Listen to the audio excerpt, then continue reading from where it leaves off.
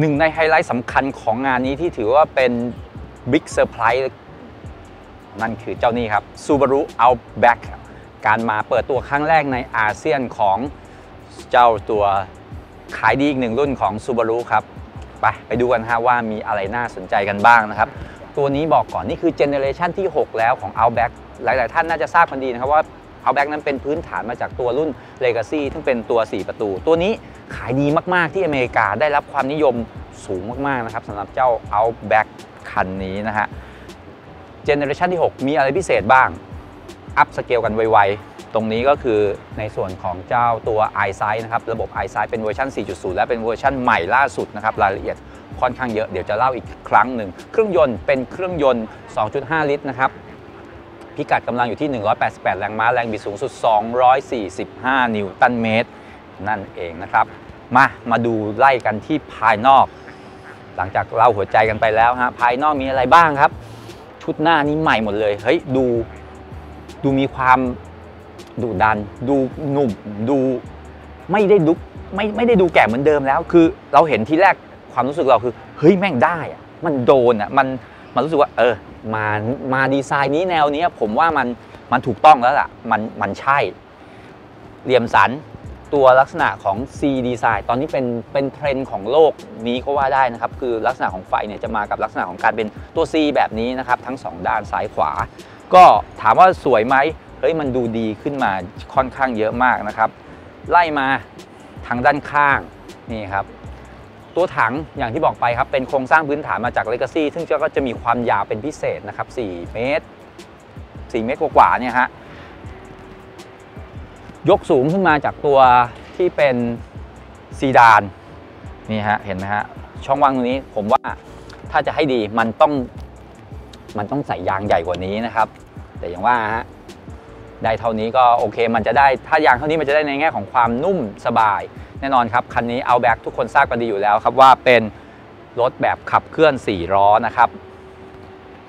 เครื่องยนต์ที่บอกไปเมื่อกี้บ็อกเซอร์นี่ 4 ตัวขับเคลื่อน 4 ล้อของ Subaru เนี่ยเป็นแบบ all wheel drive นะครับ เป็น full time นะครับ ขับตลอดเวลา ข้อดีคือเกาะถนน ข้อเสียง่ายๆเลยฮะ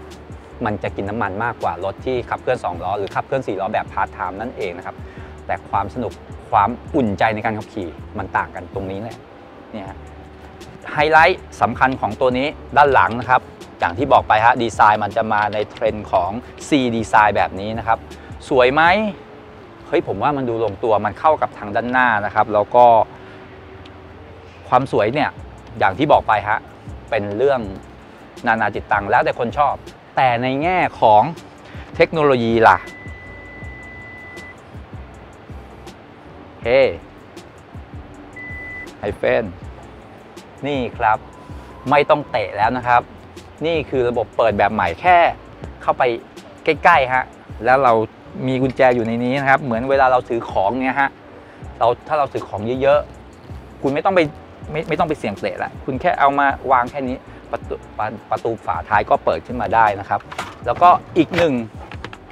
การดีไซน์ที่ผมชอบมาก ฝาปิดอย่างนี้ สมมุติเราถือของเยอะๆ เฮ้ยทำไงดีอะฝามันปิดอาจจะ เข้าไม่ได้อย่างนี้ แค่นี้ฮะนี่ฮะเดี๋ยวนะ ต้องฝั่งนี้ครับนี่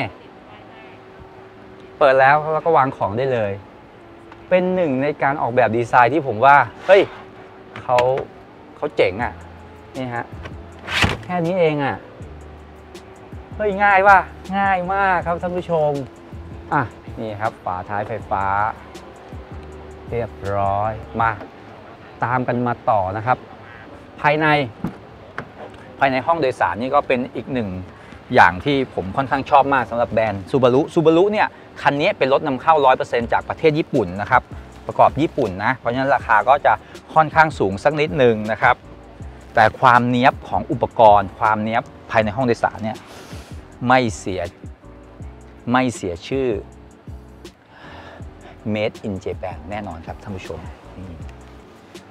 ว้าวเนี่ยความละเอียดดีงาม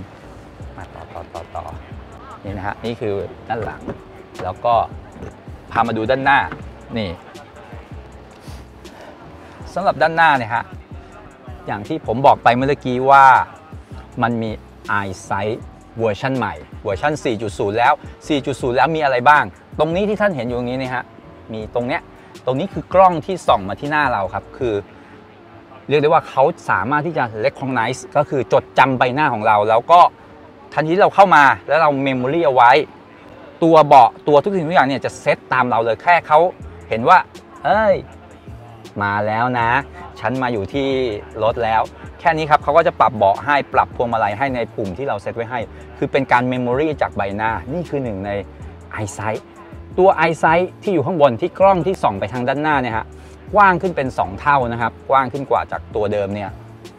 จากจากเดิมเนี่ยมุมองศาประมาณนี้คราวนี้ององศาใหญ่ขึ้น แล้วก็มีการปรับพวงมาลัยให้อยู่ กลับมาอยู่ในแนวตรงมากมากขึ้นหมดจากจากเดิมเนี่ยตัวไอไซด์เดิมเนี่ยไม่ได้มีการดึงพวงมาลัยเพื่อให้รถอยู่อยู่ เพื่อประคองรถให้อยู่กลางเลน แต่ตอนนี้รถสามารถที่จะดึงแล้วก็กลับมาให้อยู่กลางเลนได้นะครับ ในส่วนของตัวหน้าจอเดี๋ยวให้ดู นี้นะฮะหน้าจอนี่ฮะหน้าจอเป็นจอใหม่ใหญ่ขึ้นแล้วก็นี่ครับนะลูกเล่นเฮ้ยดูผมผมชอบนะ ดูดูดีขึ้นอะนะนี่นี่ X mode X mode ต้องมีมาเกียร์เป็นเกียร์อัตโนมัติแบบ 8 speed นะครับ ก็ อันนี้ยังไม่ได้ลองขับ ถ้าลองขับแล้วเดี๋ยวจะจะได้รู้ว่าเป็นอย่างไรนะครับ ตัวนี้มีสลูปด้วยนะครับเฮ้ยถือว่าค่อนข้างครบถ้วนในแง่ของรถอเนกประสงค์นะครับ ถามผมน่าสนใจไหมเฮ้ยมันน่าสนใจมาก คือโดยไซส์ของเจ้า Outback เนี่ยนะฮะถือว่าเป็นรถที่ไม่ใหญ่แล้วก็ไม่เล็กจนเกินไปนะครับ คือใหญ่กว่า Forester นะครับ แต่ก็ไม่ได้ใหญ่เทอะทะมากนะครับ อย่างว่าพื้นฐานมาจากเบสมาจากตัว Legacy นะครับ ก็เรียกได้ว่าเป็นหนึ่งในตัวรถที่น่าสนใจสำหรับคนที่ชอบรถอเนกประสงค์นะครับว้าวแน่นอนทุกคนอยากรู้แล้วว่าเจ้า Outback นั้นราคาเท่าไหร่นะครับ ตามนี้เลย ไม่ถึง 3 ล้านท่านผู้ชม เฮ้ย น่าสนใจทีเดียวสำหรับคนที่ชอบรถในแง่ของสมรรถนะในแง่ของไม่เหมือนใคร ไม่ได้อยากซ้ำใครมากๆ แล้วก็ได้คุณภาพมาตรฐานญี่ปุ่นนะครับ นี่คือหนึ่งในตัวเลือกที่น่าสนใจเลยทีเดียวสำหรับ Subaru Outback มาชมกันได้ตัวจริงตัวเป็นๆครั้งแรกในเอครั้งแรกในอาเซียนนะครับที่งานบางกอก International Motor Show ครั้งที่ 42 นะครับ ตั้งแต่วันที่ 24 มีนาคมถึง 4 เมษายน ไป ขอบคุณครับ สวัสดีครับ